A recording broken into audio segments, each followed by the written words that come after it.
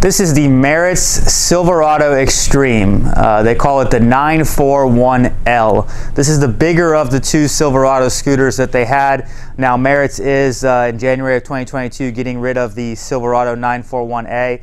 This is the larger version, the Silverado Extreme 941L. Uh, this is a recreational scooter, so this is not technically considered a handicap scooter. So just be aware on certain scooters like this, there is tax um, like well, on, on, some scooters there's not if it's a, a handicap scooter. So um, this scooter is made primarily for outdoors and the multiple reasons what it's made for outdoors is um, your speed, your battery distance, uh, your suspension, um, but really the overall length and width of the unit is going to limit you from using this really inside. So it's about 60.8 inches, so we'll just say 61 inches long and just a little bit under 29 inches wide. Um, the unit comes standard with a 20 by 19 deep seat. Uh, it does have a 450 pound weight capacity. Um, so if somebody thinks that seat's not wide enough, you can expand the arms out with knobs in the back to get more distance in between your arms. Um, but that is the standard size seat it comes with. And I'll circle back around to the seat in a minute. You have 14 inch front drive tires, 16 inch rear drive tires. Uh, you have full suspension in the front and in the back you have a massive spring coil in the back which does give you very, very good suspension while driving. Uh, it does come standard with 75 amp batteries, which they say gets you up to 55 miles on a charge. Now, I'd be skeptical of that. If anybody else has had one of these and you want to comment on the YouTube video of how many miles you've really gotten out of it, um, but in general, I like to tell you about 35 miles just so that way they're not going to get stranded somewhere. But the specs do say up to 55 miles on a full charge. Uh, it also says up to nine and a half miles per hour. Um, I just drove this outside to check. I got it to like 9.2. Now I am a 220 pound man, a little bit of an incline outside. Um, so, but 9.6 is the maximum speed that this will top out at. Um, so a couple things that we'll go over with this unit um, is that people want to know a lot of different things, such as ground clearance. So if you look at your ground clearance here, you're at about five and a half inches of ground clearance from the bottom of the floorboard to the ground. Now you might be a little bit less at the motor. A lot of times they don't give you what that measurement is.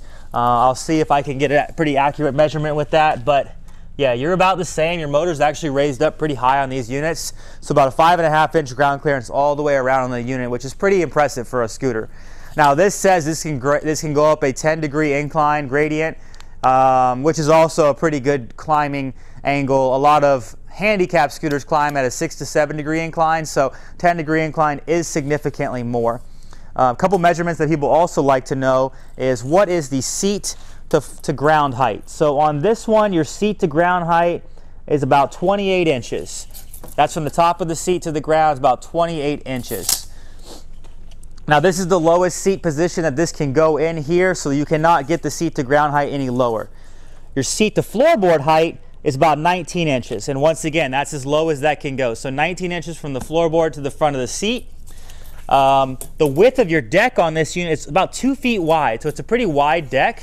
And then for actual floorboard space, you have almost 16 inches, about 15 and a half inches of floorboard space. So those are a couple measurements that people really need to know about getting in, getting out of the unit. Now this seat does have a reclining seat, so it was already reclined back a little bit. Um, you can pull the handle and you can recline back. Most of them go to about 110 degree limited recline is what they kind of call a lot of these seats here. Uh, the seat armrests do flip up if you want to get out. Um, and then you can actually just take your armrests, there's knobs in the back, you can expand them out or completely take the armrests off.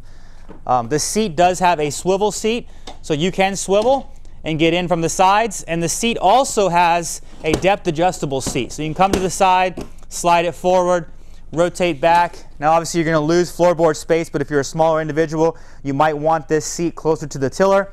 Uh, if you're a taller individual, you can pull this handle, slide the seat back, and now that gives you more of a, of, of a room to get in or to drive with the unit.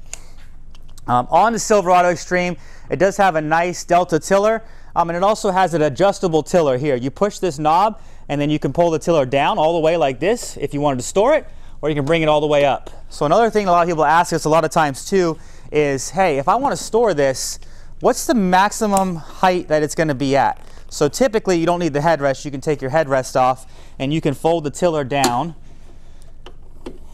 into a position like this. So as you see, the top of your seat is still going to be your highest point.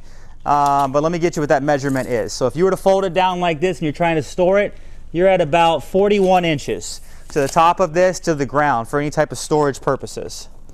Bring your seat back up, slide your headrest back on, raise the tiller back up, so there are multiple speed settings that come on this unit. Um, you can adjust the speed, but the top end speed is about the nine and a half miles an hour. You do have a handbrake here if you really wanted to stop extra fast, but you actually have electromagnetic brakes in the back that as soon as you let go, it's going to stop you. Now, granted, if you're going nine and a half miles an hour, it might take a little bit more, but in general, two or three feet to come to a pretty fast stop. Uh, you do have air tires, so it's going to get you a better ride, front and rear, air tires all the way around. Um, you have a headlight and you also have tail lights. Um, on a unit like this in the back, there is a knob back here that you can push forward and it will disengage the motor and then you can freewheel it. Now it's a heavy unit so you're not going to want to push it around all the time, but you do want to make sure that lever is down in the locked position for you able to drive the unit. Um, something that I not, did not realize on this unit is looks like they have like a cigarette lighter or an old phone, old school phone charger built in right here. So that is built into the unit. Um, you have turn signals, headlights um, up here on your display. When you turn the unit on, it's actually going to show you that you're going to have uh, your Fahrenheit or Celsius uh, temperature gauge. It's going to have a trip distance and a total distance, and then it's going to have a clock and your speed. Um, so it's all digital up here. Um, a nice part about driving this unit is you have a really nice um, throttle that's really big, so it's not like a really small throttle that you can't find to get your hand on. Um, and you technically could drive this with your thumbs or with your index fingers, whichever way you decide to drive it. Uh, up in the front, you have a large storage compartment here, so if you had a big Gulp cup or something like that, you could stick it in here and you could have your drinks. Um, and the back of the unit on the seat, I'm going to swivel the seat and show you. The seat locks about every 45 degrees. So in the back of the seat down here, there is a rear docking device. So in there you can get rear accessories like baskets, oxygen tank holder, cane holder, walker holder. Um, and a lot of companies don't sell them anymore, but there's aftermarket canopies that will slide in there and then you can really have shade while you're driving on the unit.